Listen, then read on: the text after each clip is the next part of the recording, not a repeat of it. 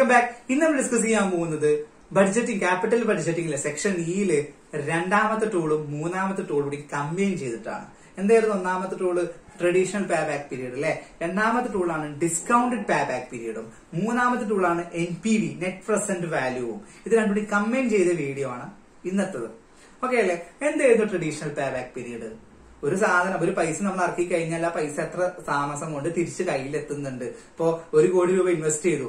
രണ്ട് വർഷം കൊണ്ട് ആ ഒരു കോടി രൂപ തിരിച്ചു കിട്ടിയ അതിന്റെ പേ ബാക്ക് പീരീഡ് രണ്ടു വർഷമാണ് അല്ലെ? ഇത് തന്നെയാണ് ഡിസ്കൗണ്ടഡ് പേ ബാക്ക് പീരീഡും പക്ഷെ ചെറിയൊരു ട്വിസ്റ്റ് ഉണ്ട്. ട്രഡീഷണൽ പേ ബാക്ക് പീരീഡും ഡിസ്കൗണ്ടഡ് പേ ബാക്ക് പീരീഡും തമ്മിൽ ചെറിയൊരു വ്യത്യാസമുണ്ട്. ആ വ്യത്യാസം മനസ്സിലാക്കിയാൽ രണ്ടും തമ്മിലുള്ള വ്യത്യാസം മനസ്സിലാവും. എന്താന്ന് വെച്ച് കഴിഞ്ഞാൽ ഉദാഹരണം പറയുകയാണെങ്കിൽ എനിക്ക് ഞാൻ ഒരു കോടി രൂപ ഇൻവെസ്റ്റ് ചെയ്തു. ഒരു വർഷം കഴിഞ്ഞിട്ട് എനിക്ക് പത്ത് ലക്ഷം റുപ്യ എന്ത് കിട്ടും? എനിക്ക് ലാഭമായിട്ട് കിട്ടും. ഒരു വർഷം കഴിഞ്ഞിട്ട് പത്ത് ലക്ഷം റുപ്യ ലാഭമായിട്ട് കിട്ടും. ഇന്നാണ് ഞാൻ ഒരു കോടി ഇൻവെസ്റ്റ് ചെയ്തത്. ഒരു വർഷം കഴിഞ്ഞിട്ട് കിട്ടുന്ന പത്ത് ലക്ഷം രൂപ. ഇന്നത്തെ പത്ത് ലക്ഷം രൂപയുടെ വിലയുണ്ടാകുമോ ഇല്ലയോ നിങ്ങൾ പറ. മൂല്യം കുറഞ്ഞിട്ടുണ്ടാവുമല്ലോ. ഇൻഫ്ലേഷൻ എന്ന് പറയുന്ന ഒരു സാധനം മാർക്കറ്റിൽ ഉണ്ടല്ലോ. അല്ലെ? പത്ത് ശതമാനമാണ് ഇൻഫ്ലേഷൻ എന്ന് വിചാരിക്കുക പത്ത് ലക്ഷം ഉറുപ്പ്യയുടെ പത്ത് ശതമാനം എന്ന് പറഞ്ഞാൽ ഒരു ലക്ഷം ഉറുപ്പ്യ അവിടെ പോവും. ഒരു ലക്ഷം ഉറുപ്പ്യ അല്ലേ? ആണോ? അല്ല പതിനായിരം റുപ്യ മാറിപ്പോയി. ആണോ? എന്തായാലും നിങ്ങൾക്ക് എമൗണ്ട് ഉണ്ടല്ലോ. ആ എമൗണ്ട് അവിടെ പോവും. പോവില്ലേ? ആ എമൗണ്ട് അവിടെ പോയി കഴിഞ്ഞാൽ ബാക്കി എത്ര ഉണ്ടാവും? അതാണ് നിങ്ങൾക്ക് ഇൻഫ്ലേഷൻ എമൗണ്ട് ആയിട്ട് പോയിട്ട് ബാക്കി കിട്ടുന്ന എമൗണ്ടേ നിങ്ങളുടെ കയ്യിൽ വരുള്ളൂ. അല്ലേ? ചുരുക്കി പറഞ്ഞാൽ ആ പത്ത് ലക്ഷത്തിൽ നിങ്ങൾക്ക് ആ മൂല്യം ഇന്നില്ല. അപ്പൊ ആ മൂല്യം കുറഞ്ഞു. ആ കുറഞ്ഞ പൈസയെ നിങ്ങൾ കൂട്ടാൻ പാടുള്ളൂ. അപ്പൊ ഒരു ലക്ഷം റുപ്യാണ് നിങ്ങൾക്ക് മാസത്തെ കിട്ടുന്നത്. ഒരു ലക്ഷം റുപ്യ നിങ്ങൾക്ക് ഒരു വർഷം കഴിഞ്ഞിട്ട് കിട്ടുന്നത്. ആ ഒരു ലക്ഷം റുപ്യന്റെ പത്ത് ശതമാനം എന്ന് പറഞ്ഞാൽ പതിനായിരം രൂപയാണ്. ആ പതിനായിരം രൂപ അവിടെ നിങ്ങൾ കുറച്ചു കഴിഞ്ഞാൽ ചുരുക്കി പറഞ്ഞാൽ നിങ്ങളുടെ കയ്യിൽ തൊണ്ണൂറായിരം രൂപയെ കിട്ടുന്നുള്ളൂ. നമുക്ക് ഒരു ലക്ഷം റുപ്യന്റെ നോട്ട് കിട്ടുന്നുണ്ട്. പക്ഷെ ഇന്നത്തെ തൊണ്ണൂറ് തൊണ്ണൂറായിരം റുപ്യന്റെ വില അതിനുണ്ടാവുള്ളൂ ആ തൊണ്ണൂറായിരം നിങ്ങൾ കൺസിഡർ ചെയ്യാൻ പാടുള്ളൂ. സത്യത്തിൽ. കാരണം നിങ്ങൾ ഇൻവെസ്റ്റ്മെന്റ് ചെയ്യണത് ഇന്നാണ്. ഇന്നത്തെ ഒരു കോടി രൂപയാണ് നിങ്ങൾ ഇൻവെസ്റ്റ് ചെയ്തത്. അപ്പോ ഇന്നത്തെ വാല്യൂ ആണ് നിങ്ങൾക്ക് നാളെ കിട്ടേണ്ടത്. മനസ്സിലായി എന്ന് വിചാരിക്കുന്നു. നിങ്ങൾക്ക് ഒരു ലക്ഷം റുപ്യ കിട്ടിയിട്ടുണ്ടാവും. പക്ഷെ ഒരു ലക്ഷത്തിന്റെ വില അതിനില്ല. ഇന്ന് കമ്പയർ ചെയ്യുമ്പോൾ ഇന്നത്തെ തൊണ്ണൂറായിരം അതിനുള്ളൂ. ആ തൊണ്ണൂറായിരം നിങ്ങൾ അവിടെ കൺസിഡർ ചെയ്യാൻ പാടുള്ളൂ. അതേ നിങ്ങൾ പേ ബാക്ക് പീരീഡിൽ കണക്കൂട്ടാൻ പാടുള്ളൂ. നിങ്ങൾ നോക്കുമ്പോൾ ആ ഒരു വർഷം കഴിഞ്ഞു. ഒരു വർഷം കഴിഞ്ഞപ്പോൾ എന്റെ കയ്യിൽ വന്നത് ഒരു ലക്ഷം റുപ്യ വന്ന്. ഒരു ലക്ഷം വന്നിട്ടില്ല. നിങ്ങളെ കയ്യിൽ തൊണ്ണൂറായിരം വന്നിട്ടുള്ളൂ. നിങ്ങൾ അങ്ങനെ വേണം ഓരോ വർഷവും നിങ്ങൾ കൺസിഡർ ചെയ്യാൻ.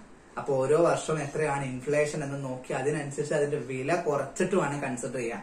പക്ഷേ ബഡ്ജറ്റിങ്ങിന് വേണ്ടിയിട്ട് നിങ്ങൾ ഇൻഫ്ലേഷൻ അല്ല നിങ്ങൾ കൺസിഡർ ചെയ്യുക കോസ്റ്റ് ഓഫ് ക്യാപിറ്റൽ ആണ്. ഓരോ കമ്പനിക്കും അവരുടേതായിട്ടുള്ള കോസ്റ്റ് ഓഫ് ക്യാപിറ്റൽ ഉണ്ടാവും. എന്താണ് cost of capital corporate finance നമ്മൾ ഡിസ്കസ് ചെയ്തതാണ് അല്ലെ? അവർ കമ്പനി ലോൺ എടുത്തിട്ടുണ്ടാവും ബോണ്ട് ഇഷ്യൂ ചെയ്തിട്ടുണ്ടാവും ഡിവെഞ്ചർ ഉണ്ടാവും. ഇതിനൊക്കെ നിങ്ങൾ വേറെ എന്താ വരും. ഇൻട്രസ്റ്റ് അടക്കേണ്ടി വരും. കമ്പനി ഷെയറുകൾ ചെയ്തിട്ടുണ്ടാവും കോമൺ ഷെയർ ആയിട്ടും പ്രിഫറൻസ് ഷെയറുകളായിട്ടും കമ്പനി ഇഷ്യൂ ചെയ്തിട്ടുണ്ടാവും. അപ്പൊ ഇതിനൊക്കെ അവർ എന്ത് കൊടുക്കേണ്ടി വരും? ഡിവിഡൻഡ് കൊടുക്കേണ്ടി വരും. അതിനൊക്കെ അവർക്ക് കോസ്റ്റ് ഉണ്ട്. അപ്പൊ ഒരു കമ്പനിക്ക് ഒരു ഓവറോൾ കോസ്റ്റ് ഉണ്ടാവും.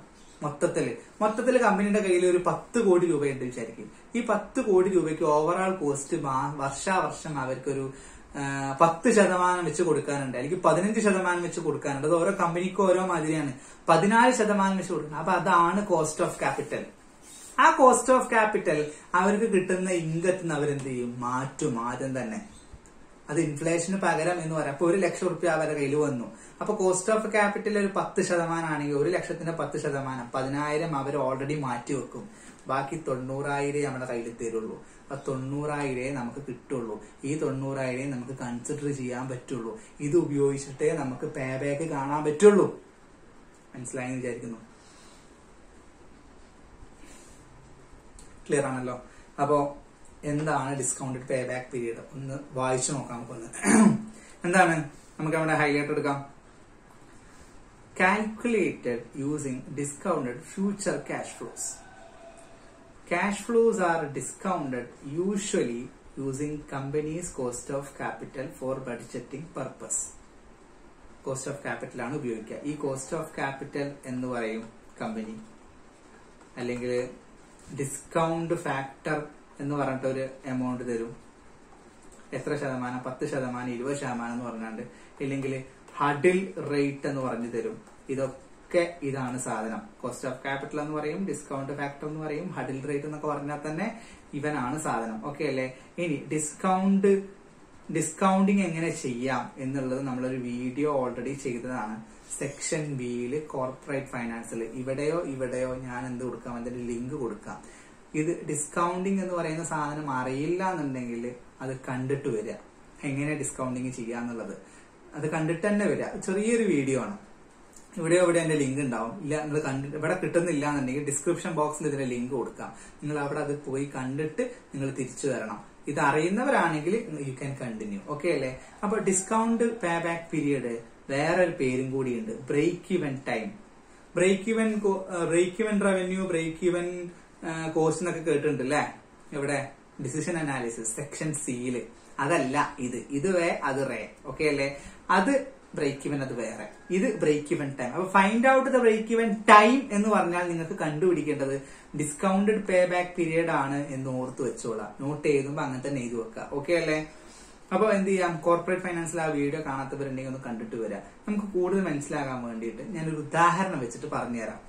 ഇത് ഓർമ്മ ഉണ്ടല്ലോ ഈ ക്യാഷ് ഫ്ലോ നമ്മുടെ കിങ്സ് കമ്പനിയുടെ ക്യാഷ് ഫ്ലോ ആയിരുന്നു. കിങ്സ് കമ്പനി ആ കമ്പനിയിലോട്ട് തിരിച്ചു വരാം. നമുക്ക് ഈ താഴെയുള്ള ഈ എമൗണ്ട് മാത്രം മതി. അപ്പൊ അത് മാത്രം എടുത്താൽ ആദ്യത്തെ നമ്മൾ ഇൻവെസ്റ്റ്മെന്റ് ഒരു ലക്ഷത്തി ഇരുപത്തി അയ്യായിരം ആയിരുന്നു. ഓക്കെ അല്ലേ? ഒരു വർഷം കഴിഞ്ഞപ്പോ നാപ്പത്തി ഒമ്പതിനായിരത്തി ഒരുന്നൂറ്റി എഴുപത്തി അഞ്ച് കിട്ടിയിക്കണ് ഇരുപത്തിരണ്ടായിരത്തി ഒരുന്നൂറ്റി അമ്പത് രൂപയായിട്ട് കിട്ടിയിക്കണ് അങ്ങനെ മൂന്നാമത്തെ വർഷം നാലാമത്തെ വർഷം അഞ്ചാമത്തെ വർഷം എനിക്ക് കിട്ടിയിക്കണ് പക്ഷെ കമ്പനിയുടെ കോസ്റ്റ് ഓഫ് ക്യാപിറ്റൽ എന്ന് പറയുന്നത് പത്ത് ശതമാനമാണ് പത്ത് ശതമാനം കമ്പനി കൊണ്ടുപോകും. അത് പോയാൽ ബാക്കി എത്രയാണ് ഉണ്ടാവുക?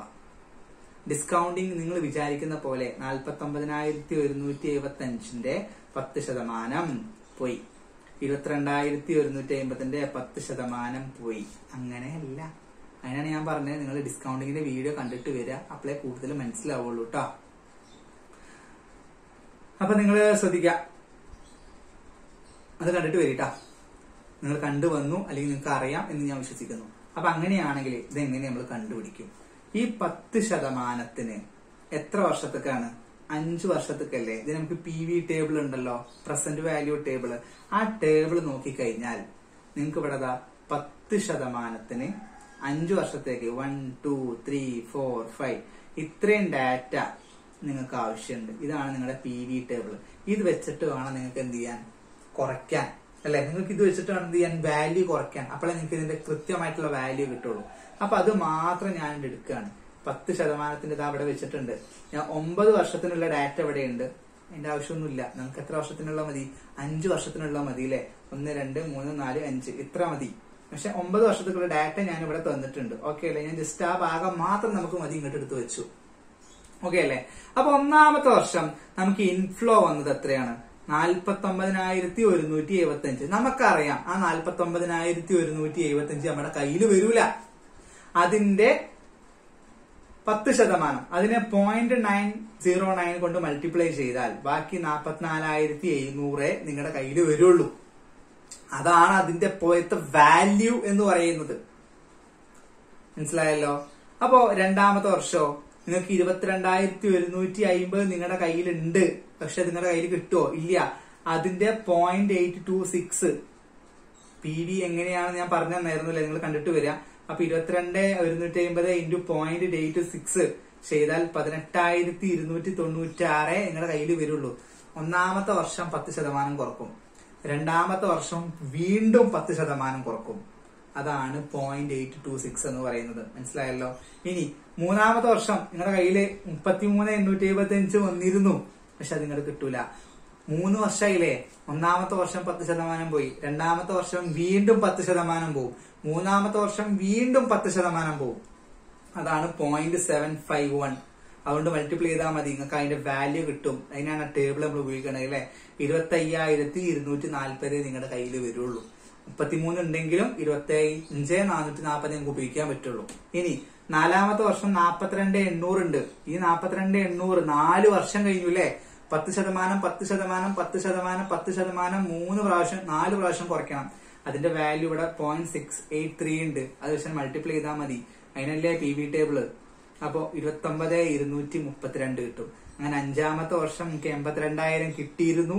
അതിന്റെ പോയിന്റ് സിക്സ് ടു വൺ വെച്ച് മൾട്ടിപ്ലൈ ചെയ്താൽ ആ അവിടെ ചെറിയൊരു മിസ്റ്റേക്ക് ഞാൻ ചെയ്തിട്ടുണ്ട്. സോറി കേട്ടോ ഇവിടെ പോയിന്റ് സിക്സ് ടു വൺ വെച്ചിട്ടാണ് മൾട്ടിപ്ലൈ ചെയ്യേണ്ടിയിരുന്നത്. ഞാൻ ഇവിടെ പോയിന്റ് ഫൈവ് സിക്സ് ഫോർ വെച്ചിട്ട് മൾട്ടിപ്ലൈ ചെയ്തു. ഓക്കെ അല്ലേ? തെറ്റ് മനസ്സിലായല്ലോ. അങ്ങനെ അത് ചെയ്താൽ നിങ്ങൾക്ക് നാൽപ്പത്തി ആറായിരത്തി ഇരുന്നൂറ്റി നാൽപ്പത്തി എട്ട് ചെറിയൊരു വേരിയേഷൻ അവിടെയുണ്ട്. ഓക്കെ അല്ലേ? എന്തായാലും അതിന്റെ അടുത്തുള്ള ഒരു വാല്യൂ ആണ് നിങ്ങൾക്ക് കിട്ടേണ്ടത്. ഓക്കെ അല്ലേ? അപ്പൊ ഇത് വെച്ചിട്ടാണ് ഏത്? ഞാൻ ഈ മഞ്ഞയിൽ മാർക്ക് ചെയ്തിട്ടുള്ള ഇത് മാത്രമേ നിങ്ങൾക്ക് ഉപയോഗിക്കാൻ പറ്റുള്ളൂ. നാൽപ്പത്തിനാല് ഇരുന്നൂറ് ഒന്നാമത്തെ വർഷം രണ്ടാമത്തെ വർഷം പതിനെട്ട് ഇരുന്നൂറ്റി തൊണ്ണൂറ്റാറ് മൂന്നാമത്തെ വർഷം ഇരുപത്തഞ്ച് നാനൂറ്റി ഇത് മാത്രമേ നിങ്ങൾക്ക് ഉപയോഗിക്കാൻ പറ്റുള്ളൂ. റിയൽ ആയിട്ട് ഇത് കിട്ടിയിട്ടുണ്ടെങ്കിലും അത് ഉപയോഗിക്കാൻ പറ്റൂല. ഇത് നിങ്ങൾ ഉപയോഗിച്ചു കഴിഞ്ഞാൽ പേ ബാക്ക് ആണ്. ഇത് ഉപയോഗിക്കുകയാണെങ്കിൽ ഡിസ്കൗണ്ടഡ് പേ ബാക്ക് ആണ്. ഇത് തമ്മിലുള്ള വ്യത്യാസമുള്ളൂ. ഇനി നിങ്ങൾ ഇൻവെസ്റ്റ്മെന്റ് എത്ര? എത്ര ടൈം എടുക്കുന്നുണ്ടെന്നല്ല നമ്മൾ കണ്ടുപിടിക്കേണ്ടത്? ഒരു ലക്ഷത്തി ഇരുപത്തി അയ്യായിരം അപ്പൊ ഈ ഒരു ലക്ഷത്തി ഇരുപത്തി അയ്യായിരത്തിൽ നിന്ന് ഈ നാപ്പത്തിനാല് എഴുന്നൂറ് കുറച്ചാൽ ഇനി ബാക്കി നിങ്ങൾക്ക് എത്ര കൊടുക്കണം? എൺപത് മുന്നൂറ്. ഒരു വർഷം കഴിഞ്ഞു. ഒരു വർഷം ഇനി ബാക്കിയുള്ളത് എൺപത് മുന്നൂറാണ്. ഈ എൺപത് മുന്നൂറിന് ഈ അടുത്ത വർഷം കിട്ടുന്ന പതിനെട്ട് ഇരുന്നൂറ്റി തൊണ്ണൂറ്റാറ് കുറച്ചാൽ ഇനിയും അറുപത്തിരണ്ട് പൂജ്യം മുപ്പത്തൊന്ന് ഉണ്ട് ബാക്കി. രണ്ടാമത്തെ വർഷമായി. ഇനി മൂന്നാമത്തെ വർഷമാകുമ്പോൾ നമുക്ക് അവിടെ കിട്ടിയ ഇരുപത്തി അയ്യായിരത്തി നാനൂറ്റി നാൽപ്പത് അതിൽ നിന്ന് കുറച്ചാൽ ഇനിയും മുപ്പത്തി ആറായിരത്തി അഞ്ഞൂറ്റി തൊണ്ണൂറ്റി ഒന്ന് കൊടുക്കാനുണ്ട്. നാലാമത്തെ വർഷമാകുമ്പോൾ ഇനി ഇരുപത്തി ഒമ്പതിനായിരം കിട്ടി. അത് അതിൽ നിന്ന് കുറച്ചാൽ ഇനിയും ഏഴായിരത്തി മുന്നൂറ്റി അയിമ്പത്തി ഒമ്പത് രൂപ ബാക്കിയുണ്ട്. നാലാമത്തെ വർഷം നിങ്ങൾക്ക് അഞ്ചാമത്തെ വർഷം നിങ്ങൾക്ക് എത്ര റുപ്യ കിട്ടുന്നുണ്ട്? ഏകദേശം നാൽപ്പത്തി ആറായിരം റുപ്യോളം കിട്ടുന്നുണ്ട്. അത് മൊത്തം വേണോ? വേണ്ട. നിങ്ങൾക്ക് ഏഴായിരത്തി മുന്നൂറ്റി അമ്പത്തി ഒമ്പത് മതി. അപ്പൊ ഈ നാൽപ്പത്തി ആറായിരത്തി ഇരുന്നൂറ്റി നാൽപ്പത്തി എട്ടിന്റെ എത്ര ഭാഗമാണ് ഈ ഏഴായിരത്തി മുന്നൂറ്റി അമ്പത്തി ഒമ്പത് നോക്കിയാൽ പോരെ?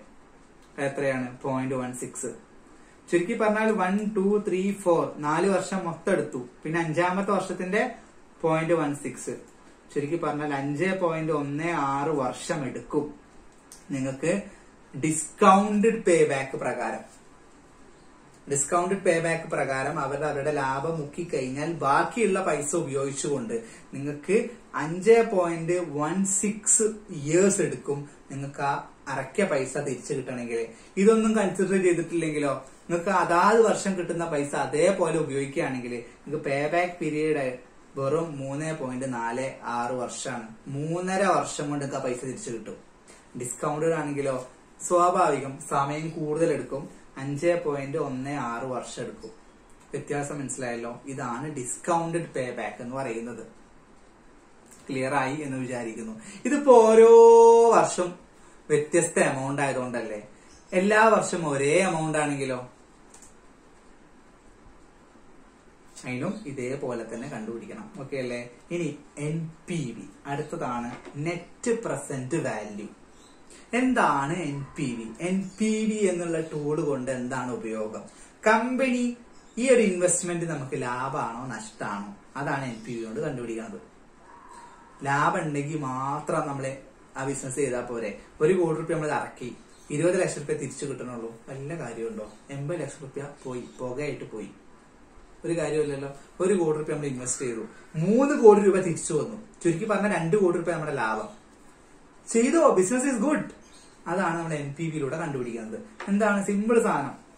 N P V is the difference between total present values of inflows and outflows present value ആണ് നമ്മൾ കാൽക്കുലേറ്റ് ചെയ്യേണ്ടത്. മുക്കാളത് കമ്പനി മുക്കും. കമ്പനി മുക്കിയാലും ബാക്കി എത്ര നമ്മുടെ കയ്യിൽ വരുന്നുണ്ട്. ഓക്കെ ആണല്ലോ? കാരണം കോസ്റ്റ് ഓഫ് ക്യാപിറ്റൽ ആണ് ഉപയോഗിക്കുന്നത്. അതുകൊണ്ടാണ് മുക്കും ഞാൻ പറഞ്ഞത്. ഓക്കെ അല്ലേ? അപ്പൊ എൻ പി വി എന്ന് പറഞ്ഞാൽ എന്താ? P V of inflow minus P V of outflow ചുരുക്കി പറഞ്ഞാൽ ഇൻഫ്ലോ മൈനസ് ഔട്ട്ഫ്ലോ നിങ്ങൾക്ക് എത്ര വന്നു? കയ്യിൽ നിന്ന് എത്ര പോയി? അതിന്റെ പി വി ആണ് പ്രസന്റ് വാല്യൂ ആണ് നമ്മൾ നോക്കേണ്ടത്. ഓക്കെ അല്ലേ?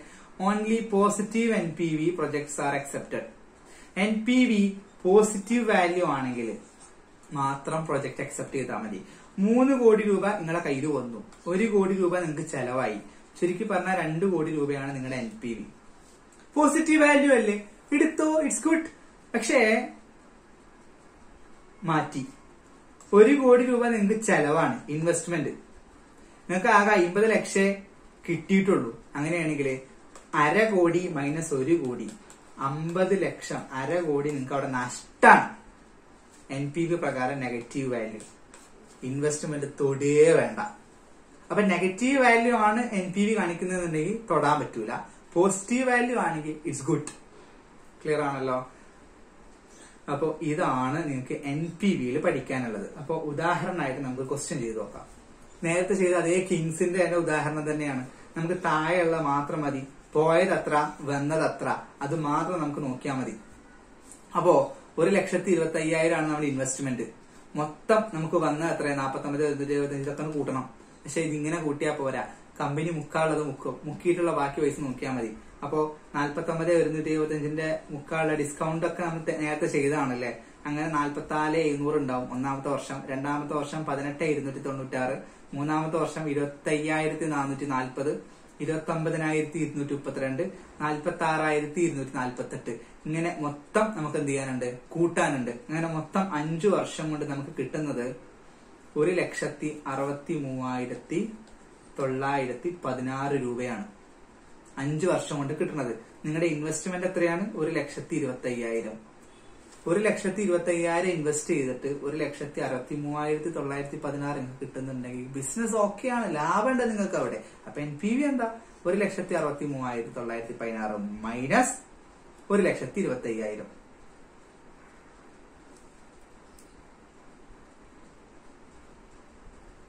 ജസ്റ്റ് ഒരു മിനിറ്റ് എന്തോ ഒരു മിസ്റ്റേക്ക് വന്നല്ലോ. ഓക്കെ ഓക്കെ ഓക്കെ അപ്പോ ഒരു ലക്ഷത്തി അറുപത്തി മൂവായിരത്തി തൊള്ളായിരത്തി പതിനാറ് മൈനസ് ഒരു ലക്ഷത്തി ഇരുപത്തി അയ്യായിരം അപ്പൊ നിങ്ങൾക്ക് എത്ര കിട്ടി? മുപ്പത്തെട്ടായിരത്തി തൊള്ളായിരത്തി പതിനാറ് നിങ്ങൾക്ക് അവിടെ ലാഭം കിട്ടും. ബാക്കി എന്നുള്ളതാണ് പറഞ്ഞത്. പോസിറ്റീവ് വാല്യൂ ആണ്. As N P V business is okay നിങ്ങൾക്ക് സെലക്ട് ചെയ്യാം. അക്സെപ്റ്റ് ചെയ്യാം. എന്നുള്ളതാണ്. ഇതിൽ നിന്ന് നമുക്ക് മനസ്സിലാക്കാൻ പറ്റുന്ന മീനിങ് അപ്പൊ ഏതൊക്കെ നമ്മൾ ടൂളുകൾ പഠിച്ചു? First one traditional pay back രണ്ട് ഡിസ്കൗണ്ടഡ് പേ ബാക്ക് മൂന്ന് എൻ പി വി ഇങ്ങനെ മൂന്ന് ടൂൾ പഠിച്ചു അല്ലെ? ഇനി N P V equal cash flow ആണെങ്കിൽ അപ്പൊ നേരത്തെ നമ്മൾ ഈക്വൽ ക്യാഷ് ഫ്ലോ അല്ല വ്യത്യസ്ത വ്യത്യസ്ത ക്യാഷ് ഫ്ലോ ആണ് ഇതല്ലേ ഓരോ വർഷം വ്യത്യസ്ത എമൗണ്ട് ആണ്. ഇനി എല്ലാ വർഷവും ഈക്വൽ ആണെങ്കിലോ അതാണ് കുറച്ചും കൂടി സിമ്പിൾ ആയിട്ടുള്ള പരിപാടി. കാണിച്ചു തരാം. കുറച്ചും കൂടി സിമ്പിൾ ആയിട്ടുള്ള പരിപാടി അതാണ്. ഇപ്പോ കോസ്റ്റ് ഓഫ് ഇൻവെസ്റ്റ്മെന്റ് ഒരു ലക്ഷമാണ് നമ്മൾ ആദ്യത്തെ വർഷം നമ്മൾ ഇൻവെസ്റ്റ് ചെയ്തത് സ്റ്റാർട്ടിങ്ങിൽ അങ്ങനെ എല്ലാ വർഷവും നമുക്ക് എസ്റ്റിമേറ്റഡ് ഇൻഫ്ലോ എന്ന് പറയുന്നത് ഇരുപതിനായിരം ഡോളറാണ് നെക്സ്റ്റ് സെവൻ ഇയേഴ്സ് അടുത്ത ഏഴ് വർഷം നമുക്ക് ഇരുപതിനായിരം വെച്ച് ഇങ്ങനെ കിട്ടിക്കൊണ്ടിരിക്കും. അടുത്ത ഏഴ് വർഷം ഇരുപതിനായിരം വെച്ച് കിട്ടിക്കൊണ്ടിരിക്കുകയാണ്. അങ്ങനെയാണെങ്കിൽ നമ്മുടെ ഹഡിൽ റേറ്റ് ഞാൻ പറഞ്ഞു cost of capital discount rate hurdle rate എന്നൊക്കെ പറഞ്ഞ് മാറ്റി മാറ്റി തരുമല്ലേ എട്ട് ശതമാനം. നമ്മുടെ ഡിസ്കൗണ്ടിങ് റേറ്റ് എട്ട് ശതമാനമാണ്. ടാക്സ് റേറ്റ് നാൽപ്പത് ശതമാനം. നിങ്ങളുടെ ആനുവൽ ക്യാഷ് ഫ്ലോ എന്ന് പറയുന്നത് ഇരുപതിനായിരമാണ് അല്ലെ? അപ്പോ ക്യാഷ് ഇൻഫ്ലോ ഇരുപതിനായിരം ഔട്ട്ഫ്ലോ ഒരു ലക്ഷം. എത്ര വർഷത്തേക്ക്? ഏഴ് വർഷത്തേക്ക്. അപ്പോ എല്ലാ വർഷവും നിങ്ങൾക്ക് ഇരുപതിനായിരം വെച്ച് കിട്ടുമോ കിട്ടൂലല്ലോ. നമുക്ക് എട്ട് ശതമാനം വെച്ച് കുറക്കണ്ടേ? അതിങ്ങനെ ഓരോന്ന് ഓരോന്ന് കുറയ്ക്കാൻ. ആനുവൽ സെയിം അല്ലേ? അതിനാണ് നിങ്ങൾക്ക് ആനുവിറ്റി ടേബിൾ ഉള്ളത് അല്ലെ? ആനുവിറ്റി ടേബിളിൽ എത്ര ശതമാനം? എട്ട് ശതമാനം. ഏഴ് വർഷത്തേക്കുള്ളത്. ഒറ്റയ്ക്ക് കാണാം. എട്ട് ശതമാനം. ഏഴ് വർഷത്തേക്കുള്ളത്. ഇതാ five point two zero six അതുകൊണ്ട് അങ്ങോട്ട് മൾട്ടിപ്ലൈ ചെയ്താൽ പോരെ. അപ്പോ ആനുറ്റി ഫാക്ടർ എത്രയാണ്? Five point two zero six ഇരുപതിനായിരം രൂപ. അതിനെ നിങ്ങൾ അങ്ങോട്ട് മൾട്ടിപ്ലൈ ചെയ്താൽ നിങ്ങൾക്ക് ഒരു ലക്ഷത്തി നാലായിരത്തി ഒരുന്നൂറ്റി ഇരുപത്. എത്ര വർഷം കൊണ്ട് കിട്ടും? ഏഴ് വർഷം കൊണ്ട് നിങ്ങളുടെ കയ്യിൽ കിട്ടും. ആണോ? ഒന്ന് ആലോചിക്കുക ഇരുപതിനായിരം എന്ന് പറയുന്ന എമൗണ്ട് ഏഴ് വർഷം കൊണ്ട് നിങ്ങൾക്ക് എത്ര കിട്ടും? ഒരു ലക്ഷത്തി നാൽപ്പതിനായിരം കിട്ടും. അല്ലേ? അതിലൊരു ചെറിയ എമൗണ്ട് കമ്പനി അടിച്ചു മാറ്റണില്ലേ? എട്ട് ശതമാനം വെച്ചിട്ട്. ആ അടിച്ചു മാറ്റിയതിന് ശേഷമുള്ള ആണ് ഞാൻ ഈ പറഞ്ഞത്. ഒരു ലക്ഷത്തി നാലായിരത്തി ഒരുന്നൂറ്റി ഇരുപത് എന്ന് പറയുന്നത്. അത് കണ്ടുപിടിക്കാനാണ് ആനുവിറ്റി ടേബിൾ ഉപയോഗിക്കുക. നേരത്തെ നമ്മൾ ഉപയോഗിച്ചത് പി വി ടേബിൾ ആണ്. ഇതിന് ആനുവിറ്റി ടേബിൾ. ഇത് നിങ്ങൾക്ക് കിട്ടുന്നില്ലെങ്കിൽ ജസ്റ്റ് ഗൂഗിൾ എടുത്തിട്ട് ആനുവിറ്റി ടേബിൾ എന്ന് അടിച്ചു കഴിഞ്ഞാൽ ഇമേജസിൽ പോയാൽ എനിക്ക് സാധനം കിട്ടും. ക്ലിയർ ആണല്ലോ? അപ്പോ കമ്പനിയുടെ വക അടിച്ചുമാറ്റലൊക്കെ കഴിഞ്ഞാൽ ബാക്കി ഉണ്ടാകുന്ന പൈസ? ഒരു ലക്ഷത്തി നാലായിരത്തി ഒരുന്നൂറ്റി ഇരുപത്. നിങ്ങൾ ഇറക്കിയ പൈസ ഒരു ലക്ഷം. അപ്പൊ ഒരു ലക്ഷത്തി നാലായിരത്തി ഒരുന്നൂറ്റി ഇരുപതിന് ഒരു ലക്ഷം പോയാൽ ബാക്കി നാലായിരത്തി ഒരുന്നൂറ്റി ഇരുപത് രൂപ നിങ്ങൾക്ക് ലാഭമായിട്ട് കിട്ടുന്നുണ്ട്. ഏഴ് വർഷം കൊണ്ട്. എൻ പി വി പ്രകാരം പ്രൊജക്ട് ഈസ് ഓക്കെ പക്ഷെ നമുക്കറിയാം പ്രൊജക്ട് നമുക്ക് എടുക്കാനൊന്നും പറ്റില്ല എന്നുള്ളത്. കാരണം ഒരു ലക്ഷം റുപ്യ ഇറക്കിയിട്ട് ഏഴ് വർഷം കൊണ്ട് നിങ്ങൾക്ക് കിട്ടിയ ലാഭം വെറും നാലായിരത്തി ഒരുന്നൂറ്റി ഇരുപത്. നമ്മൾ എന്തായാലും എടുക്കൂല. അത് വേറെ കാര്യം. അത് റിയാലിറ്റി ആണ്. പക്ഷെ as per N P V project is okay നിങ്ങൾക്ക് ഇവിടെ ലാഭം തരുന്നുണ്ട്. പ്രൊജക്ട് ഓക്കെ ആണ്. ക്ലിയർ ആണല്ലോ? അപ്പൊ ഇങ്ങനെയാണ് നമുക്ക് ക്യാഷ് ഫ്ലോ ഈക്വൽ ആണെങ്കിൽ കണ്ടുപിടിക്കുന്ന മെത്തേഡ് എന്ന് പറയുന്നത്. ഇനി നമുക്കൊരു ക്വസ്റ്റ്യൻ ചെയ്ത് നോക്കാം. എന്താണ്? ഈ company is analysing and investment ഒരു ഇൻവെസ്റ്റ്മെന്റ് അനലൈസ് ചെയ്യാണ്. രണ്ട് ലക്ഷം രൂപയാണ് ഇറക്കിയത് for the next five years ഇത് company is expected an annual cash flow and three and their probabilities are given below company annual cash flow expect ചെയ്യുന്നത് ഒരു നാൽപ്പത്തി അയ്യായിരം കിട്ടാം പോയിന്റ് വൺ പ്രോബബിലിറ്റി എന്ന് വെച്ചാൽ പത്ത് ശതമാനം സാധ്യതയുണ്ട്. അമ്പതിനായിരം കിട്ടാൻ ഇരുപത് ശതമാനം സാധ്യതയുണ്ട്. അമ്പത്തയ്യായിരം കിട്ടാൻ മുപ്പത് ശതമാനം സാധ്യതയുണ്ട്. ഇങ്ങനെ ഓരോന്നും തന്നിട്ടുണ്ട്.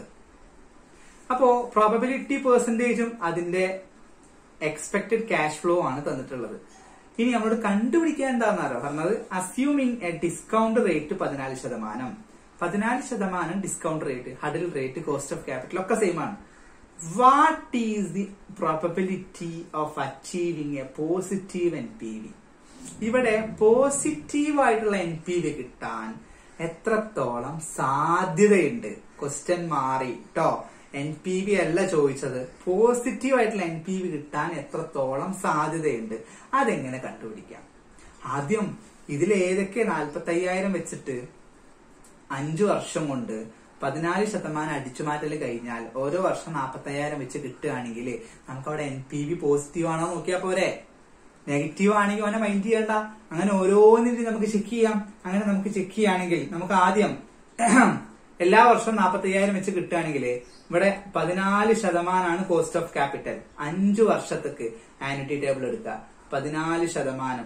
ഒന്ന് രണ്ട് മൂന്ന് നാല് അഞ്ച്. അഞ്ചു വർഷത്തേക്ക് three point four three three ആണ് നമ്മുടെ ആനുവിറ്റി ഫാക്ടർ എന്ന് പറയുന്നത്. അത് നമ്മൾ എടുത്തു വെച്ചു. Three point four three three അതിന് എവിടെ കിട്ടി ചോദിക്കരുത്. ആന്റി ടേബിളിലുണ്ട് അല്ലെ? അത് നമ്മൾ എടുത്തു വെച്ചു. ഇനി ഓരോന്നിന്റെയും കാണാം. നാപ്പത്തി അയ്യായിരത്തിന്റെ three point four three three അഞ്ചു വർഷത്തേക്ക് നമുക്ക് കിട്ട ഒരു ലക്ഷത്തി അമ്പത്തിനാലായിരത്തി നാനൂറ്റി അമ്പത്തി അഞ്ചാണ് നമ്മൾ ഇറക്കിയ ഇൻവെസ്റ്റ്മെന്റ് രണ്ട് ലക്ഷമാണ്. രണ്ട് ലക്ഷം റുപ്യ ഇറക്കി നിങ്ങൾക്ക് കിട്ടിയത് ഒരു ലക്ഷത്തി അമ്പത്തിനാലായിരം. എൻ പി വി നെഗറ്റീവ് ആവോ പോസിറ്റീവ് ആവോ? നെഗറ്റീവ് അല്ലേ? എൻ പി വി നെഗറ്റീവ് അല്ലേ? ഓനെ മൈൻഡ് ചെയ്യണ്ട. അത് വെട്ടി. രണ്ട് അമ്പതിനായിരത്തിന്റെ നിങ്ങൾക്ക് അഞ്ചു വർഷം കൊണ്ട് റിട്ടേൺ വരുന്നത് into three point four three കൊണ്ട് മൾട്ടിപ്ലൈ ചെയ്താൽ മതി. ഒരു ലക്ഷത്തി എഴുപത്തി ഒന്നായിരം നിങ്ങൾക്ക് കിട്ടുള്ളൂ. രണ്ട് ലക്ഷം നിങ്ങൾ ഇറക്കിയത് നിങ്ങൾക്ക് ഒരു ലക്ഷത്തി എഴുപത്തി ഒന്നായിരം കിട്ടണുള്ളൂ. കാര്യമുണ്ടോ? എൻ പി നെഗറ്റീവ് ആണോ പോസിറ്റീവ് ആണോ? നെഗറ്റീവ് ആണ്. കണ്ടുപിടിക്കുക പോലും വേണ്ട. നമുക്കറിയാലോ. ഇനി അടുത്ത വർഷം. അടുത്ത വർഷമല്ല അടുത്ത നമ്മൾ നോക്കണത്. അമ്പത്തി അയ്യായിരത്തിന് വെച്ച് നോക്കുകയാണെങ്കിലോ into three point four three three ചെയ്താൽ നിങ്ങൾക്ക് അഞ്ചു വർഷം കൊണ്ട് തിരിച്ചു കിട്ടുക ഒരു ലക്ഷത്തി എൺപത്തെട്ടായിരമാണ്. കാര്യമുണ്ടോ? ഇല്ല. രണ്ട് ലക്ഷം നിങ്ങൾ ഇറക്കിയത് അതും നെഗറ്റീവ് ആയിരിക്കും ഇനി അറുപതിനായിരം നോക്കുകയാണെങ്കിലോ into three point four three three ചെയ്താൽ നിങ്ങൾക്ക് രണ്ട് രണ്ട് ലക്ഷത്തി അയ്യായിരത്തി തൊള്ളായിരത്തി എൺപത് കിട്ടും. ചുരുക്കി പറഞ്ഞാൽ അവിടെ ഒരു അയ്യായിരത്തി തൊള്ളായിരത്തി എൺപത് മോർ കിട്ടുന്നുണ്ട്. അവിടെ എൻ പി വി എന്താണ്? പോസിറ്റീവ് ആണ്. ഇനി അങ്ങോട്ടുള്ളതൊക്കെ അറുപതിനായിരം അറുപത്തയ്യായിരം എഴുപതിനായിരം ഇതൊക്കെ എൻ പി വി പോസിറ്റീവ് ആണ്. ചുരുക്കി പറഞ്ഞാൽ ഇത് മൂന്നുമാണ് ഇവിടെ എൻ പി വി പോസിറ്റീവ് ആയിട്ടുള്ളത്. ഏതൊക്കെ? അറുപതിനായിരത്തിന്റെതും അറുപത്തയ്യായിരത്തിന്റെതും എഴുപത്തി അയ്യായിരത്തിന്റെതുമാണ് അവിടെ എന്തുള്ളത്? എൻ പി വി പോസിറ്റീവ് ആയിട്ടുള്ളത്. മനസ്സിലായല്ലോ? അപ്പോ അറുപതിനായിരം വരാനുള്ള സാധ്യത എത്രയാണ്? ഇരുപത് ശതമാനം. അറുപത്തയ്യായിരം വരാനുള്ള സാധ്യത എത്രയാണ്? പത്ത് ശതമാനം. എഴുപതിനായിരം വരാനുള്ള സാധ്യത എത്രയാണ്? പത്ത് ശതമാനം. ചുരുക്കി പറഞ്ഞാൽ മൊത്തം നാൽപ്പത് ശതമാനമാണ് നമുക്ക് എൻ പി വി പോസിറ്റീവ് ആവാനുള്ള സാധ്യത. ഉത്തരം കണ്ടെത്തി. ഇത്രയേ ഉള്ളൂ. സിമ്പിൾ ക്വസ്റ്റ്യൻ മൊത്തം നാൽപ്പത് ശതമാനമാണ് എൻ പി വി എന്താവാനുള്ള സാധ്യത?